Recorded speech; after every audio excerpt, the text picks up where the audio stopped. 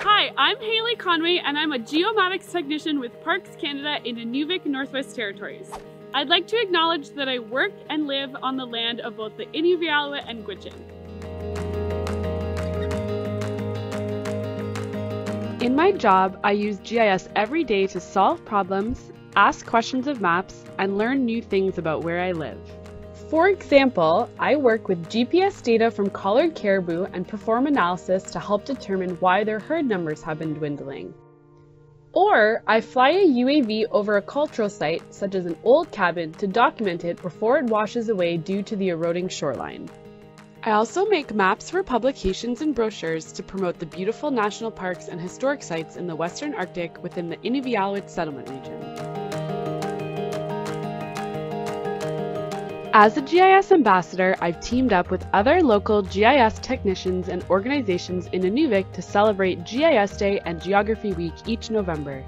This involves visiting our local school and engaging with students in different activities. We've played on a giant floor map, learned about compasses and navigation, talked about remote sensing and satellite imagery, and explored maps in ArcGIS Online. The feedback has always been positive and I look forward to it every year. I also bring GIS into my meetings as a Girl Guide leader and teach them geographic skills including orienteering, interpretation, and thinking about concepts of place, space, sustainability, scale, interconnection, and change. Being a GIS ambassador is empowering and fun. I think ensuring that people are geographically literate is crucial, especially where we live. Being out on the land and having the skills to navigate a boat, drive a skidoo, go berry picking on the tundra, and be spatially aware is of the utmost importance. When I work with students, I'm always impressed by their thoughtful questions, ability to problem solve, and how quickly they pick up new technologies. Being a GIS ambassador has made me a better and more creative geomatics technician.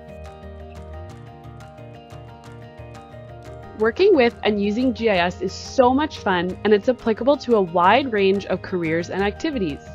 You get to play outside, be a part of projects from beginning to end, constantly challenge yourself with learning new technologies and skills, and be an important part of solving interesting problems.